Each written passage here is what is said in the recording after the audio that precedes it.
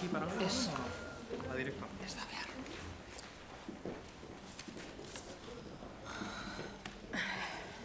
Egunon, eta eskerrik asko etortzeagatik. E, gaur, e, metroaren irugarren e, lineari buruz hitz egingo dugu, eta gaia kontutan izan da tartean dauden, hiru institu- instituzioetako EH Bilduko ordezkariak gaude prentzaurreko honetan. E, alde batetik, Marian Beitia Larrangoitia, Eusko Legebiltzarreko le- legebiltzarkidea, eta beste aldetik, Ai- Aitor Torre, Bizkaiko bai- batzar nagusietako batzarkidea, eta ni neu, Elena Gartzia, udaletxe honetako zinegotzia.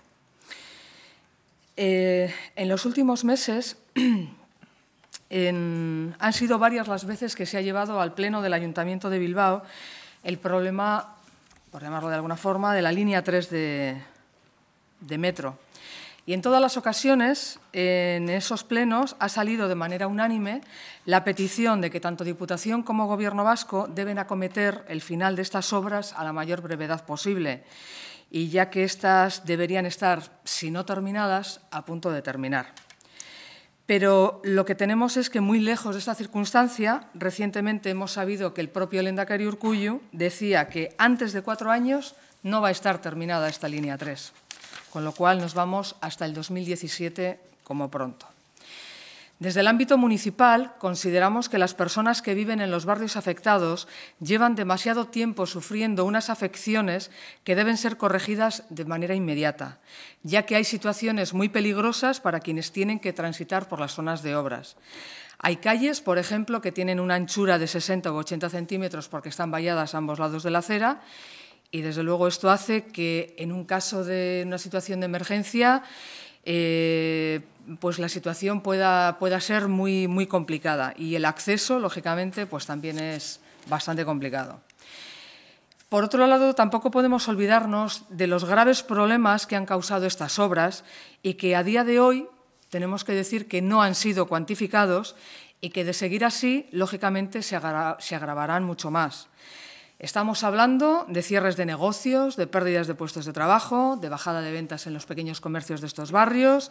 de grietas en viviendas, de problemas de salud originados por las obras, etcétera, etcétera. Por lo tanto, por nuestra parte, creemos que es imprescindible que se minimicen las afecciones que se están produciendo en todos los barrios afectados de forma urgente y asimismo se concluyan las obras de superficie lo antes posible. Y desde luego este antes posible en ningún caso es el plazo de cuatro años que está, del que está hablando el, Gobierno vasco. Y a continuación eh, van a intervenir Aitor y Marian para explicar cada uno de ellos cómo está la situación tanto en Juntas Generales como en Gobierno vasco. Es que recasco. Vaya, es que ricasco. Bueno, como ha dicho Elena, desde H. Bildu estamos a favor de la línea 3 del metro y estamos a favor de que las obras se puedan concluir cuanto antes. Sin embargo, creemos que esto no quiere decir que se pueda hacer de cualquier forma. Creemos que las obras tienen que cumplir un plazo y creemos que no se debe evitar el debate sobre el sobrecoste que se está produciendo en las obras diseñadas. Desde H. Bildu, en Juntas Generales, vamos a solicitar a la Diputación y hemos registrado una solicitud de comparecencia de Itziar Garamendi para que dé cuenta de cuál es el estado de las obras actual y para que informe sobre cuál es el plazo de previsión en los próximos meses de cada uno de los tajos abiertos. No podemos olvidar tampoco que desde el Consorcio de Transportes de Vizcaya y desde Metro Bilbao se ha vivido una lucha política entre el Partido Nacionalista Vasco y el Partido Socialista que es en parte la causante del retraso de las obras que vivimos actualmente. Creemos que el poner eh, a disposición órganos de coordinación del transporte a, disposición partidista es un error y, y, así se demuestra. Y creemos que no podemos evitar el hablar de ese sobrecoste del 80%, de esos 124 millones de euros sobre lo previsto y que se deben dar explicaciones eh, en cuanto a ello. Como decía, línea 3 sí, terminar las obras cuanto antes sí, pero con el control necesario y con la transparencia necesaria. Y para ello también solicitaremos eh, a la diputada de Transportes y presidenta del Consorcio de Transportes que realice o que ofrezca la posibilidad de realizar una visita guiada junto con las asociaciones de vecinales y los afectados para que comprueben in situ cuál es el estado y el avance de las, de las obras y de los tajos abiertos. Es que Bueno, eh, Gazteizko lege biltzarrean gai hau jondan ostegunean e, aztertu zen, astero egiten den plenoan. E, bertara iniziatiba eraman zutenek e, gai bakarra jartzen zuten mai gainean, alegia obrak bere bukatu behar zirela, eta beste guztiaren gainetik pasatzen ziren. Guk aldiz lau eskari egin genituen, e, pixka bat aitorrek azaldu duen horren aritik, alegia obrak bukatu behar dira bai, bukatu behar dira alik eta azkarren bai, baina ez edo zein modutara, beraz gure ustez e, prozesu guztian zehar egon den euneko larogeiko e, gainkoste hori aztertu gabe zintzen e, gaia pasa, eta beraz hor gauzak zergatik egin diren, egin diren bezala, e, benetako realitatea zein den eta geratzen den honetan zein izango den argitzea beharrezkoa jotzen genuen, eta zalantzarik gabe ardurarik balego, ardura horiek argitzea ere bai, gure ustez, e, sakon sakonean dagoen e, problematika eta ulertzen dugu neurri batean alderdiek heldu nahi ez izatea, beraiek problematika horren parte izan direlako, e, diru publikoaren e,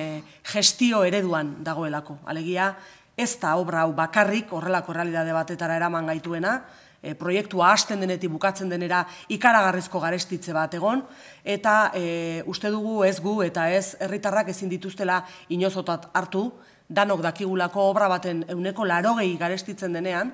e, zerbait ez dagoela ondo. Dena ezin dira izan e, imprebistoak, dena ezin dira izan aurreikusi ziren gauzak, e, badaude ere bai atzerapenarekin eta baita ere egindako gestio okerrarekin lotutako ondorioak. Gu behintzat abia puntu horretatik abiatzen gara dute uste dugu argitu behar den guzti argitu behar dela, hori da guk legebiltzarrean joan den astean defendatu genuena, gainerako alderdi guztiek gainetik pasa nahi izan zuten gai honetan, etzioten garrantzirik ematen,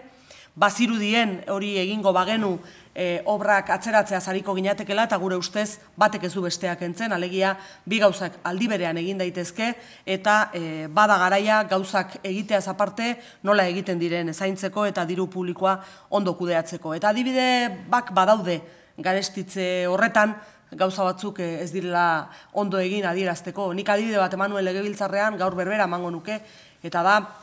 automatizazioan e, bos milioi zeudela aurre ikusita, Ernesto Gasko e, sailburu ordearen kapritxo bat zen, gaur gaurkoz dagoeneko e, sailburu berriak esana duena ez dela beharrezkoa. Beraz, guretzat importantea da bai e, bizilagunei zalantzari gabe, hemen esan den bezala, eragozpenak saiestea, Eh, ez alik eta gehien baizik eta minimo batzuk bermatzea, garrantzitsua da obra bukatzea, baina garrantzitsua da ere diru publikoa nola kudeatzen dugun eh, adieraztea. Decía que en lo que respecta al Parlamento de Gasteiz, eh, este tema se trató en la sesión plenaria de la semana pasada, quienes llevaron el tema a ese pleno única y exclusivamente plantearon el tema de que había que acabar con las obras, Nosotros entendíamos que eso era eh, no abordar el tema en su, en su magnitud, eh, en toda su magnitud, y entendíamos que si bien somos partidarios, como aquí se ha dicho, de que esas obras se acaben lo antes posible, es necesario también, por una parte, hacer un, análisis riguroso de qué es lo que queda por hacer y cómo se va a acometer, para que no nos encontremos de aquí a unos meses con que por X razones eh, estamos otra vez en un retraso o estamos en un encarecimiento, y por otra parte, entendíamos que era necesario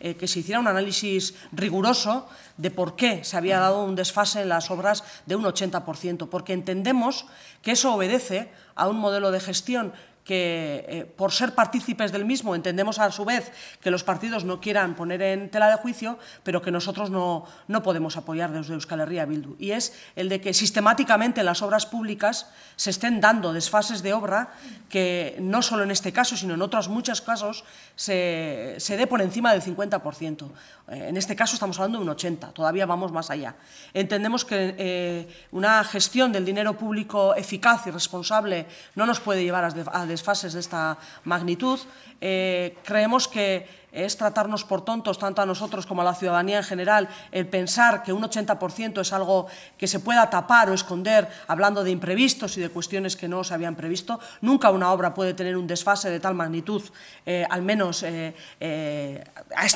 en esos porcentajes, y que eso sea justificable sin más. Y si así fuera, además, entendemos que ese análisis riguroso de por qué se ha dado nos llevaría a esa conclusión. Pero cuando no se quiere ni siquiera abordar, entendemos que es porque también ellos son conscientes de que hay algo, hay algo ahí que no es eh, real. Yo di un ejemplo, el del capricho del señor Ernesto Casco eh, con los 5 millones que costaba la automatización, 5 millones que ya hoy en día el Gobierno actual ha dicho que no eran necesarios, que era un capricho efectivamente, y como ese detalle, pues entendemos que puede haber muchas más. Por tanto, insistimos en que hay que terminar las obras del metro, hay que evitar, no en la medida de lo posible, sino garantizando unos mínimos a la ciudadanía, la convivencia de las obras con, con, el día a día y, evidentemente, hay que, hay que esclarecer qué ha pasado con, con, el, con el encarecimiento de esta obra y si hubiera depurar responsabilidades. Nosotros este último punto es el que nos llevó a no apoyar eh, el resto, eh, al resto de los partidos en, lo que estaban planteando porque entendíamos que se nos intentaba mm, vender que ambas dos cuestiones eh, no podían discurrir al mismo tiempo y nosotros entendemos que el esclarecer lo que ha ocurrido con el encarecimiento en nada tiene por qué suponer un nuevo retraso en las obras. Ambas labores se pueden hacer de forma paralela y es en lo que estamos empeñados en esta obra como en otras muchas que nos podamos encontrar en que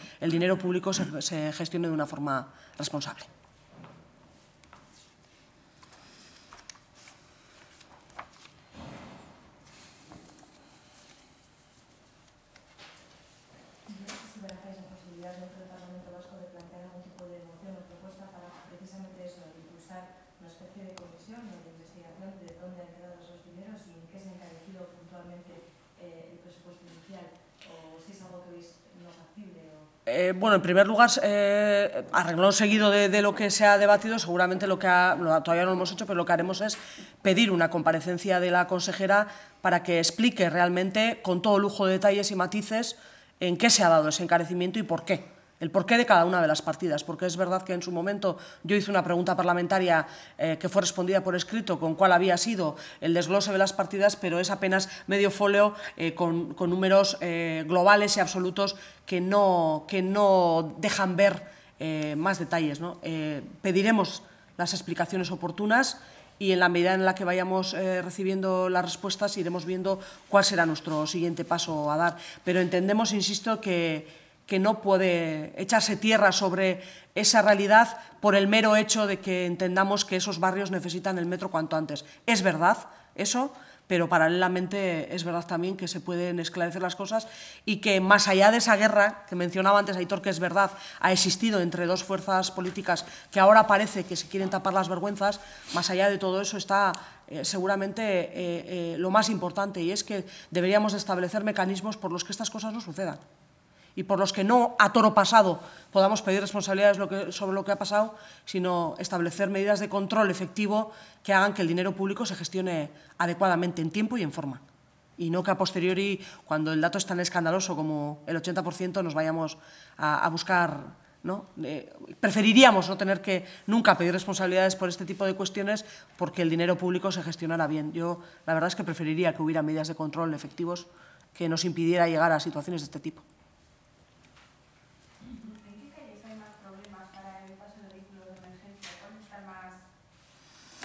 Pues mira, eh, no hemos traído las, fotos, podríamos haberlas traído, pero por ejemplo en la calle Tívoli, en, Travesía C también. Esas son dos calles que tienen el paso, el paso para las personas es de entre 60 y 80 centímetros. En una de estas calles, creo que es en la de Tívoli, me parece que es, hay una urrescola, además, con el consiguiente problema que ello puede acarrear. Eh, y bueno, ya no te voy a hablar del día a día, pues para personas que tengan movilidad reducida para poder pasar, o que tengas que ir con un carro de compra, o que tengas, mm, en fin, no sé, o una, una camilla que tenga que entrar un día. Pues es que no pasa, en 60 centímetros no pasa. Entonces, y esto, vamos, llevan ya, pues como decíamos, muchos años sufriendo, sufriendo este problema.